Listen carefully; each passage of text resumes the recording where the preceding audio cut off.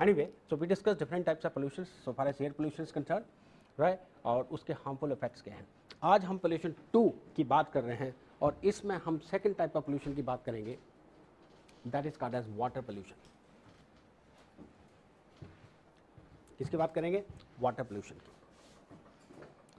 Right right? हमने पहले बात की थी कि pollution is an undesirable addition of something into the environment ठीक है राइट क्या है? Pollution is undesirable you know undesirable addition of something ठीक है या substances into our environment and our environment is made up of atmosphere our environment is made of water our environment is made of soil समझ गए ना? यह ना हमारी environment ठीक है? इबॉटिक फैक्टर्स ठीक है? इसमें जब हम अनडिजायरेबल क्वांटिटी में कोई चीज़ ऐड करेंगे we end up causing pollution ठीक है? Similar is the case right we discussed in connection with air pollution और ऐसा ही केस वाटर पोल्यूशन के साथ है when something in undesirable is added ठीक है टू वाटर ठीक है then it becomes water pollution ठीक है। वाटर में बहुत से कॉन्स्टिट्यूंट्स होते हैं, बहुत ऑर्गेनिक एंड इनऑर्गेनिक ठीक है। और आपने नाम सुना होगा, आपके घर में भी होगा आरओ होगा आरओ ठीक है। तो आरओ एक तरीका है वाटर को प्योरीफाई करने का राइट ठीक है।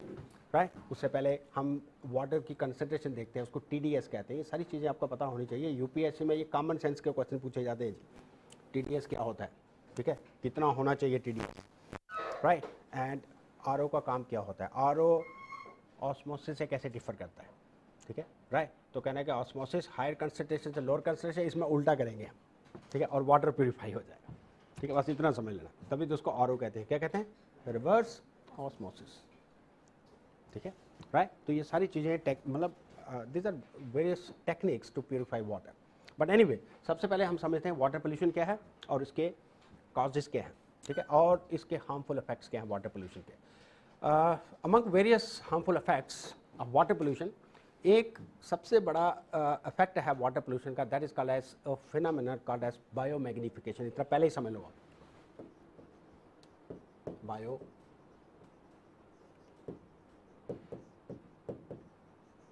मैग्निफिकेशन ठीक है bio this is the most pernicious fact of air pollution because it amounts to the accumulation of a pollutant जो pollutant है right it amounts to concentration of that pollutant in larger quantity in those organisms which are at the last of the food chain जो सबसे last में होंगे ठीक है समझे right चूहे ने ग्रेन खाए ग्रेन में हमने डीडीटी डाला था, ठीक है? जब कोई पेस्टिसाइड डाला था ग्रेन को बचाने के लिए। आलू करी में ठीक है? चूहे को स्नेक में खाया राइट अब चूहे का जितना भी डीडीटी था, वो स्नेक में चला गया। स्नेक में ज़्यादा होगा, ठीक है? अब ये क्वेश्चन लॉजिकल राइज होता है कि ये बायो मैग्निफिकेशन होती कैसे? कैसे होगा स्नेक में ज़्यादा? बताइए।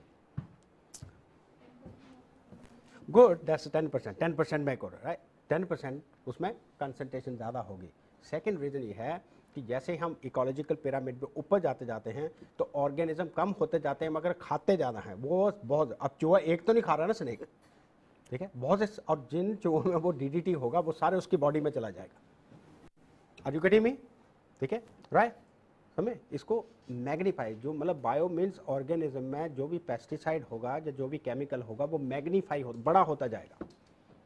इधर क्या राइट स्नेक को वल्चर ने खाया वल्चर में उससे भी ज़्यादा होगा ठीक है? This is how bio magnification occurs और वाटर पोल्यूशन का सबसे बड़ा फैक्ट यही है बायो मैग्निफिकेशन जो पेस्टिसाइड्स इंसेक्टिसाइड जो केमिकल्स वाटर में चले गए हैं अल्टीमेटली राइट उसको इक्वेटिक ऑर्गेनिज्म ने खाया, ठीक है? खाया मीन्स फ़ूड के थ्रू सपोज़ फ़िश ने खाया, ठीक है?